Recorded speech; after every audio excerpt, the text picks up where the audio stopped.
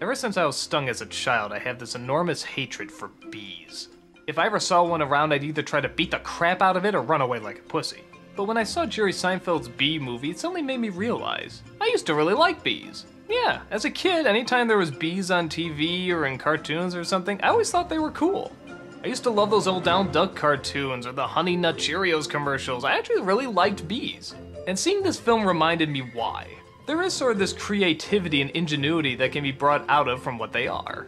And this movie takes full advantage of that, using their jobs, their homes, their abilities, and even their coordination to make some really memorable, funny scenes. So what's the story? Jerry Seinfeld is a bee who's just graduating from bee school, I guess. You'll never guess what he got on his report card. And a perfect report card. All bees. Yeah, there's a few other bad puns like that too. But he has a problem. He doesn't like the idea that he's going to be assigned to one job for the rest of his life. So he decides to go out and see the world before he does. Alright, so this is gonna be like Ants, right? Where he's trying to fight for free will and the individual and such. Actually, no, he comes across a woman played by Renee Zellweger and decides to reveal that he can actually talk and they share a nice relationship together. Okay, so what? Everyone's gonna say you can't date a human it's gonna be fighting against prejudices there? Actually, no! When he discovers that honey is being used by humans, he decides to sue the human race. And it turns into this gigantic trial, trying to show that bees are people too.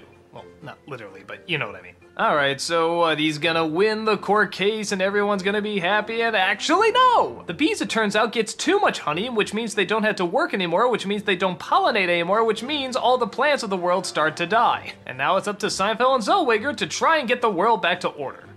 You know what? Freaking kudos to this movie. I honestly had no idea where it was gonna go.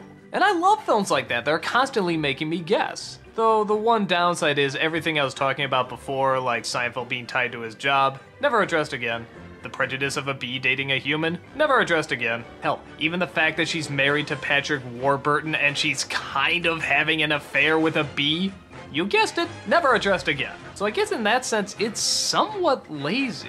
That it just sort of stops story arcs that were starting to get going and then just goes to something else. But what pulls it through is the fact that it has a very likable cast, very likable animation, very likable colors, very creative atmospheres and environments, and it's just straight up funny. I mean, like I said before, some of the puns really do die and they're pretty lame. But a lot of these jokes really hit bullseyes, even ones I think wouldn't hit bullseyes. Like I saw this Bee Larry King and I remember thinking to myself, oh my god, really? Are they honestly doing this? But then they turned into something funny. You know they have a Larry King in the human world too. It's a common name. Next week on B. Larry King. No, no, no. I mean he looks like you, and he has a show with suspenders and different colored dots behind him. Next week on B. Larry That King. old guy glasses, and there's quotes along the bottom from the guest you're watching, even though you just heard him. I'm usually not a fan of Seinfeld as an actor per se, nor really Renee Zellweger, but both of them are incredibly likable in this. Seinfeld's a good-hearted wisecracker, and Zellweger's sort of a good-hearted eccentric.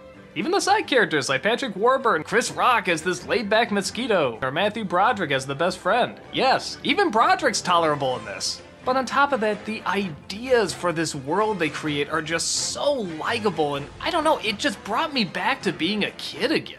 I mean, listen to some of these ideas. Wow, what does that do? Catches that little strand of honey that hangs after you pour it.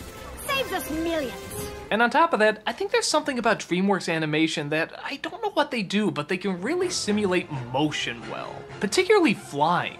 The flying scenes in this movie really work, and it really feels like you're off the ground and you're traveling with these creatures.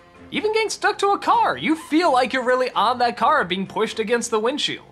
I really didn't expect to like Bee movie going into it, and yeah, some parts don't work. I mean, some of the animation is a little odd, particularly on the humans. Some of the puns can get old, and the story is sort of all over the place. But I still liked the characters, the ingenuity, the creativity, and the spontaneity of it. I was pleasantly shocked by it and was really happy to see it. It's one of the few movies I wish would be re-released on the big screen, maybe even in 3D. I love to see these moments on the big screen. I think I sort of missed out. So I guess if you're looking for a movie that has a little bit more depth or story arc to it, you're probably not gonna find it here. But if you're looking for something lighthearted with some good laughs, some good voice acting, and a lot of creative designs and animation, then I say Bee Movie is definitely a flick to check out.